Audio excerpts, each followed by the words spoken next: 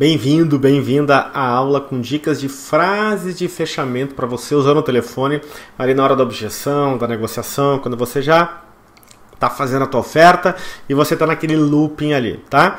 Bom, um ponto importante só para destacar que a gente vai conversar mais na sequência das aulas aqui do curso é a questão da tua mentalidade. Você precisa estar tá firme, você precisa estar tá forte, você precisa estar tá passando a emoção correta, você precisa acreditar que você agrega valor, tá? Uma vez que você sinta isso tudo, eu vou te mostrar nas próximas aulas como você faz para sentir isso tudo, mas dica, já começa a cuidar da forma que você fala com você mesmo. Tudo aquilo que você alimenta na tua mente vai ficar muito mais fácil para você ser mais fechador, tá? Então, lembra, você está argumentando, você está vencendo as objeções, você está abraçando, você está ultrapassando, você está eventualmente isolando o preço, tá?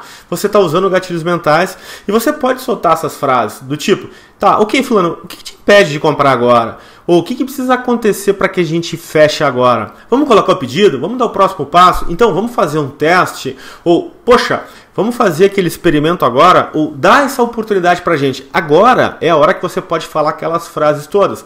Lembra lá nas aulas dos erros que eu te falei? Pô, nos dá uma oportunidade. Ok, nesse contexto agora, aqui nessa parte em que você já desafiou, que você já ofertou em cima dos benefícios, aí sim cabe Tá? Imagina que tenha lá o, o, o obstáculo, o desafio, a cortina de fumaça, o, o, a samambaia. Você vai dizer, ok, além do preço, o que mais te impede da gente fechar agora, da gente conversar com o teu diretor, da gente fazer um teste, ou da gente mandar isso para a área técnica, para a engenharia desenvolver?